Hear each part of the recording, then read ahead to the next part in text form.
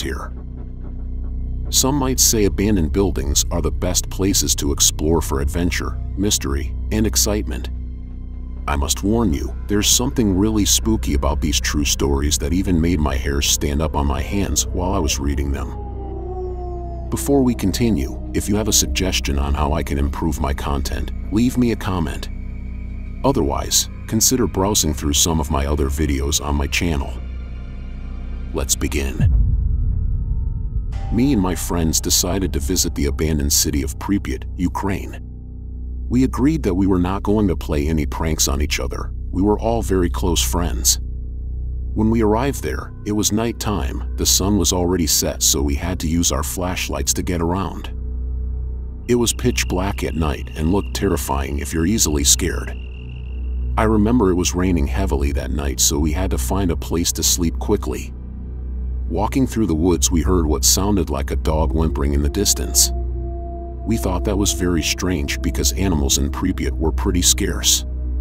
We reached one of those abandoned multi-story apartments and decided to spend the night there. It kept us out of the rain at least. The ground floor entrance was barred, but there was an open window. We all climbed in through it and went up to one of the bedrooms on the second floor. We settled down and started changing into dry clothes since we were all pretty much soaked from the rain. I had some food and before we all went to sleep I wanted to walk around the building for a little bit. I took my flashlight and started exploring the apartment seeing if there was anything interesting. It was pitch black in the apartments and hallways, and the sound of the wind and rain echoed in my ears. As I walked through a hallway with my flashlight, I wasn't sure if I had heard a faint knock on one of the apartment doors that I had just passed. It sounded like it came from behind the front door.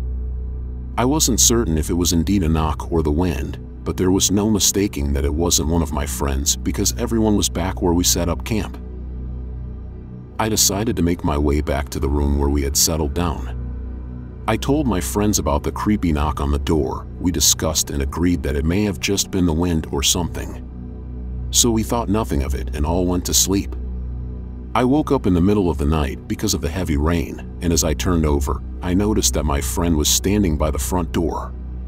He had his flashlight on, shining it around in every direction. He told me that he had just seen something, but it was gone. He was visibly shaken. I asked him what it looked like and if he got a good look at whoever it was. He said he could not tell what it was, but that it was a silhouette of a human figure. We both stayed up for around two hours waiting to see if someone would turn up again. We thought maybe it could have been other explorers trying to scare us or something. Without seeing or hearing anything we got back to our beds. My friend set his GoPro camera down to film the rest of night, in case something interesting happens. The next day we woke up eager to check the footage. That's when we all got spooked the F out. The camera was on, but the video recording was stopped. We checked the footage and all of the material filmed up to the present was deleted. There were three of us, and none of us heard any noises in the room during the rest of the night. Someone was with us in that room that night as we slept. Someone stopped the recording and deleted all the footage. To this day, I get chills just thinking about it. A few years ago, there was an abandoned house next to mine. The previous owner moved out about 15 years prior and never sold it.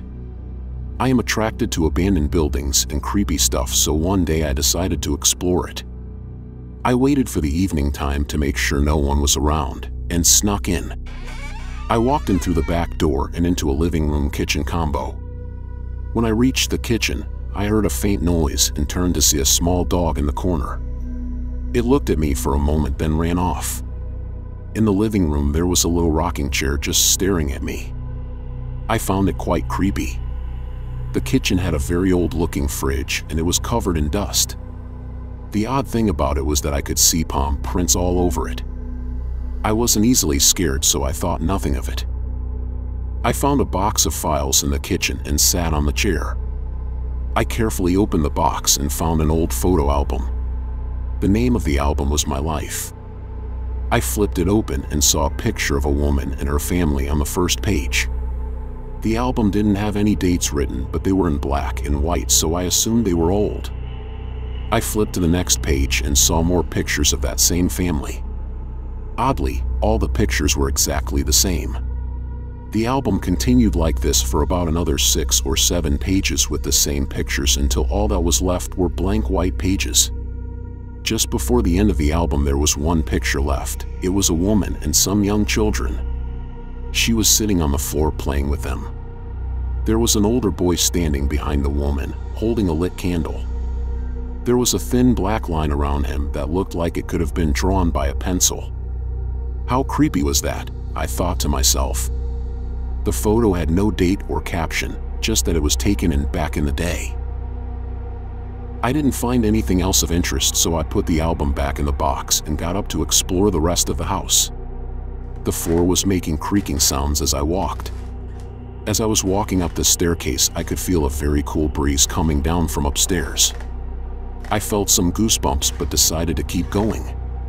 I was walking down the hallway when suddenly the hairs on the back of my neck stood up. I couldn't explain it, but something was just not right. There was a sudden gust of wind that seemed to blow the door open and made me jump a little bit. I kept walking down the hallway and reached the end of the hall where I turned to my right. It was then that I saw it. A small, closed door with a light coming from inside. I could see the light from the bottom of the door. I opened it slowly and stepped in, holding my breath. There was an office with old paintings on the walls, dusty furniture. The light was coming from the window. There was a street light near the window. Next thing I heard was some sort of faint crying of a man behind the wall. That's when I got scared and creeped the F out to the bone. I rushed to get out of there. I ran back to the door and slammed it shut. I still remember my heart pounding when I got out of the building. This was about a year ago when one Friday evening after school, me and my friends went to explore an abandoned kids asylum. It was hard to get in because the doors and windows were boarded up. The boards were old and some seemed easy to break, especially the one covering the side fire exit. One of my friends was always a bit of a menace. So as expected he kicked it in for us to gain entry. As soon as we entered the hallway it stood out to us that the place was not vandalized by anyone. Everything was dusty and old, but there was no graffiti or anything, no signs that anyone was here before us. It was creepy. We decided to explore the place. Some of us went upstairs and some went to the basement. The lower level seemed to be a bit more extensive than the upper. We found a lot of old toys and other things from when it was first built and operating. There were even a few plants still alive that seemed to grow out through the wooden floorboards. We did some exploring and found a weird room near the front of the building where they had stored all the boxes of old textbooks and other stuff. It was like some kind of library or archives, I think, but there wasn't any sign of how it operated or who used it. When we opened one of the boxes, we found articles and papers that dated back from the 1990s. This one box had a label on top described as not suitable, destroy urgently. We found that strange. There were a lot of random articles and dolls in there too, but not much else. We put everything back and left the room shutting the door behind us. There was a long hallway that led to another door we hadn't gone through yet. We all talked about how creepy it looked and how we wanted to see what's there. It was getting late in the evening with little daylight left. Suddenly, everything got darker and overcast. We heard the rain pick up, as we walked towards the end of the hallway to explore the room behind that door, we heard multiple people running up the stairs, and as we all looked back, we noticed they were our friends, the guys that went to explore the basement. They all looked white in their faces and freaked out. They told us that they had heard a kid crying and some weird scratching noise behind one of the doors in the basement. They said and insisted that we all left the building immediately. We agreed to leave and as we were walking down the staircase we heard something that sent the biggest chill through our bodies. It sounded like that same door we headed to earlier, open and slammed shut, followed by the distant sound of something heavy running towards us.